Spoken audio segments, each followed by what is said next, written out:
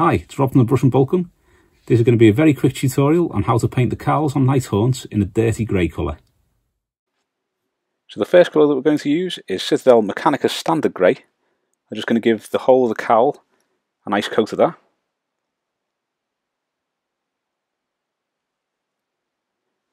As I say, there's loads of different colours that you can do these cowls. I'm just going to give a few examples just to get the variety going. But you can paint them in pretty much any colour you want. I'm going for more of a dirty and grimy kind of look to them, so sort of browns, greys, sort of black and really dark grey as well.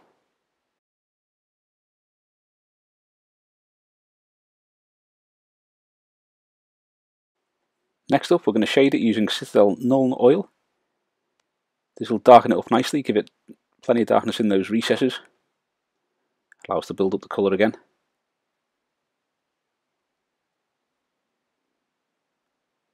Slightly off camera there, I'm sorry about that.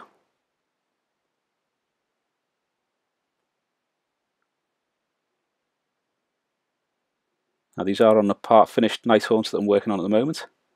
It's the 10 Chainrasps that you got from the Mortal Realms magazine.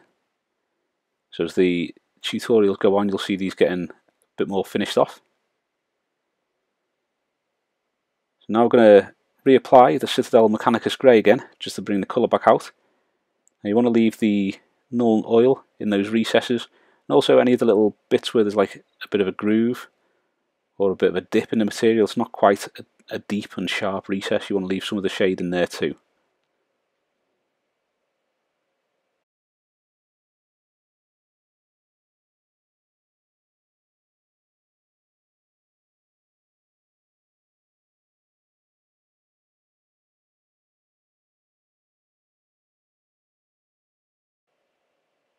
Like so. So next up, we're going to use a little bit of Citadel Dawnstone. I'm going to use this to highlight the cloak, or the cowl rather. You're just going to do this the same as you did with the brown on the main edges of it, the areas that are going to catch the light just to bring out the details make them stand out a little bit.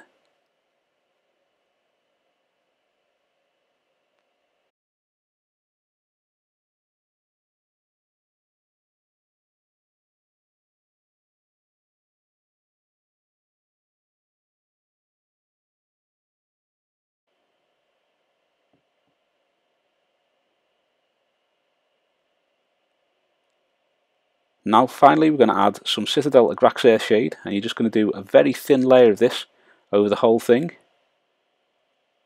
And all that will do is give it a slightly grubby look, a dirty brown colour but you'll still have all the shades and the highlights in there.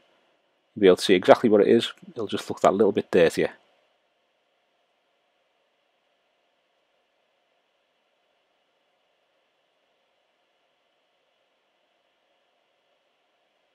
Like so.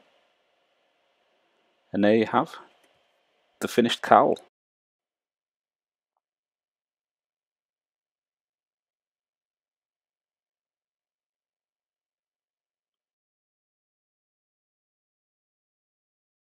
Thanks for watching, I hope you've enjoyed the video and if you have please give us a thumbs up and subscribe to the channel so you don't miss any future content.